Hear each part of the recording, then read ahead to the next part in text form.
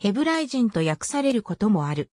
この用語は民族名ではないとされるが、特にイスラエル王国時代以前においてはまだ遊牧民であったセム語を話すイスラエル民族と同義だとされる。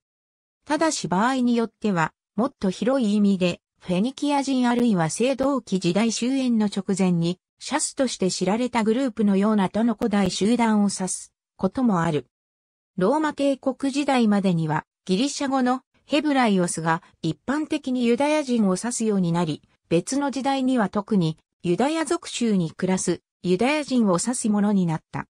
初期のキリスト教において、ギリシャ語のベータローアルファは、ユダヤ人キリスト教徒を指すもので、非ユダヤ人のキリスト教徒及びユダヤ教徒とは、対照的なものとして区別された。ウプシロンデルタアルファアルファは、エルサレム神殿があった州である。アルメニア語、イタリア語、現代ギリシャ語、セルビア語、ブルガリア語、ロシア語、ルーマニア語、他いくつかの現代言語において、ユダヤ人に対応する単語には、軽蔑的な意味合いが関連している。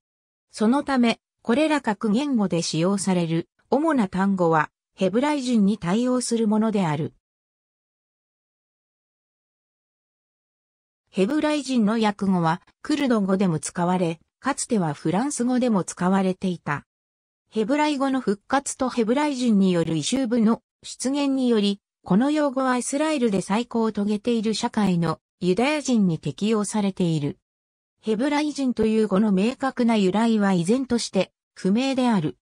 聖書の用語、イブリーは横断する、渡るを意味するもので、一般的に英語のヒーブルは古代ギリシア語のベータローアルファ及びラテン語のヒブレアスから与えられたものとされている。聖書用語イブリーには複数型としてアイボリム、またはアイブリムがある。カナン人とシャスの指導者を捕虜として描いたラムセス3世の宮殿にあるタイル。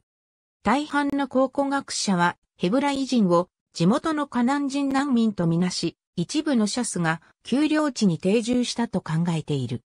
創世記ジェネシス10時21分は、ハム及びヤッペテの兄にして、ノアの最初の息子であったセムを、エベルのすべての子孫の先祖として言及しており、これが類似する意味の可能性がある。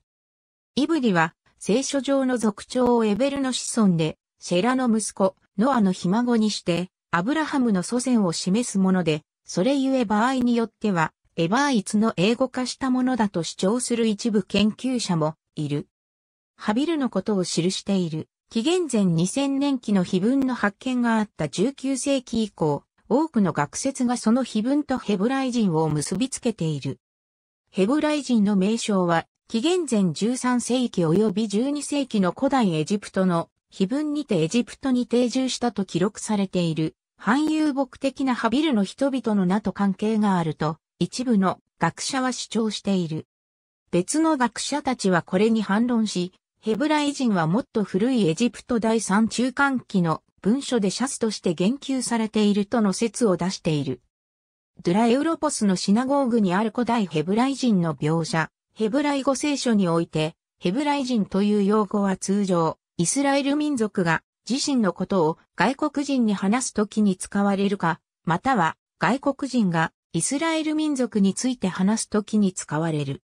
実際、パーラーシャーのレフレハー、レイクレイコ、行け、または、され。文字通りだと、あなたに関しては行きなさいにあるトーラーは、アブラハムをエイブラム・ハー・アイボリーと呼んでおり、これは文字通りアブラム、彼岸より渡りし者と訳されるジェネシス14時13分。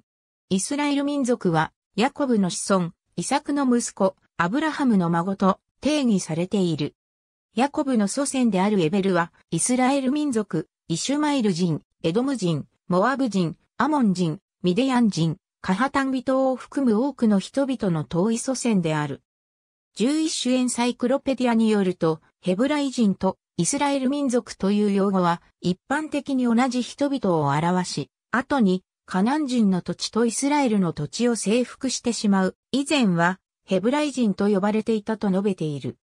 ナダブ N.A. アマン教授らはイスラエル民族を指すのにヘブライ人という単語を使うことは稀で、使われるときは移民や奴隷などの例外的で不安定な状況にあるイスラエル人に使われると述べている。モーセとアロンがファラオに追われながら航海を渡ってユダヤ人を導く様子。シリア、ドゥラエウロポスのシナゴーグにあるフレスコが西暦244から256年。ローマ時代までにヘブライ人はヘブライ語を使うユダヤ人を指すために使われるようになった。ヘブライ人への手紙はおそらくユダヤ人キリスト教徒のために書かれたものとされる。アルメニア語、ギリシャ語、イタリア語、ルーマニア語、及び多くのスラブ語を含むいくつかの現代言語では、ヘブライ人がユダヤ人の標準的な民族名として残っているが、両方の用語が存在する他の多くの言語において、現代ユダヤ人をヘブライ人と呼ぶのは、軽蔑的とみなされている。ユダヤ人文化系譜の特定の左翼、またはリベラル団体の中では、ヘブライ人という単語がユダヤ人の代わりとなる世俗的な用語として使用されている。世俗的なシオニストの間で広まったヘブライ人という用語は19世紀後半から始まったものである。この文脈における言葉は古典的なシオニズムにより探求されたユダヤ人を協力で独立した自信のある世俗的な国民集団へと変貌する、要示唆するものだった。